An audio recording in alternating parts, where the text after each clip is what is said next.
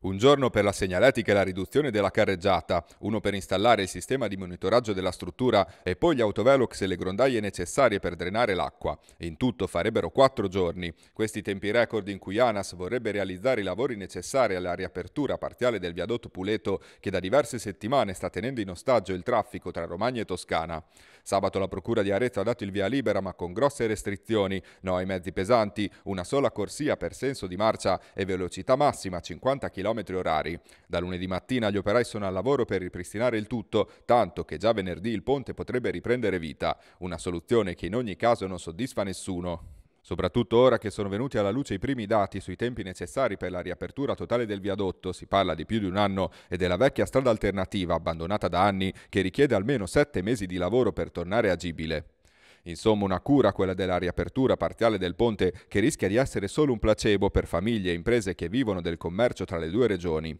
Questo è il motivo per cui i sindaci del territorio continuano senza sosta a scrivere al governo, da una parte a Di Maio per le agevolazioni fiscali, dall'altra al ministro dei trasporti Toninelli, che sabato sui social si è affrettato ad esultare per la riapertura del ponte, ma che, scrivono i sindaci, non ha più dato sue notizie dall'incontro del 22 gennaio, nel quale aveva promesso la convocazione di un tavolo di emergenza.